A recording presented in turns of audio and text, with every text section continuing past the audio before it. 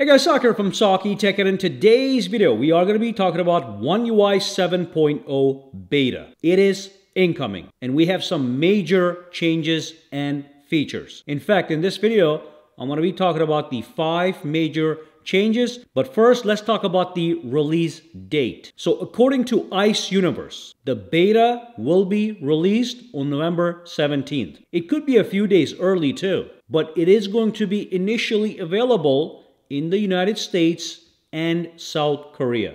Of course, it's going to come to the S24 Ultra. So anybody that has an S24 Ultra, you can get the beta, but do be careful. The initial betas are sometimes very buggy. So you may want to wait until the second or the third beta where the system stabilizes.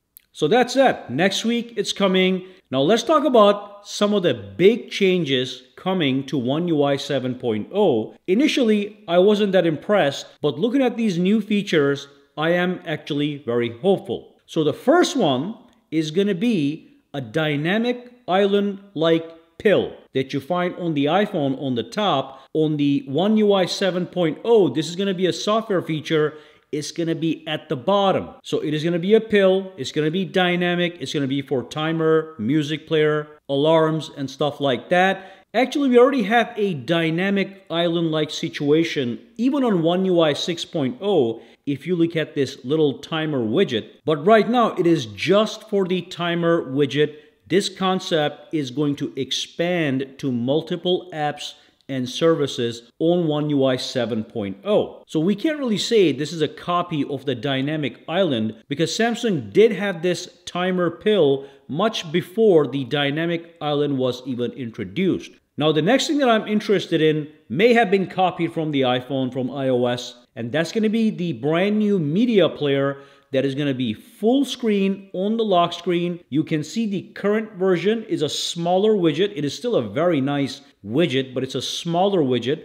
But because music is such an important part of a smartphone experience, I do like that we might be getting this larger media player on One UI 7.0's lock screen. So that is one of the other changes that I am really excited about. The next thing we're going to be talking about is going to be the animations. The animations are going to be improved. They're going to be more smooth. The transitions are going to be improved. Again, they're going to be more smooth. So the whole package of animations and interaction is going to get an upgrade so things will feel smoother and more refined than even it is right now.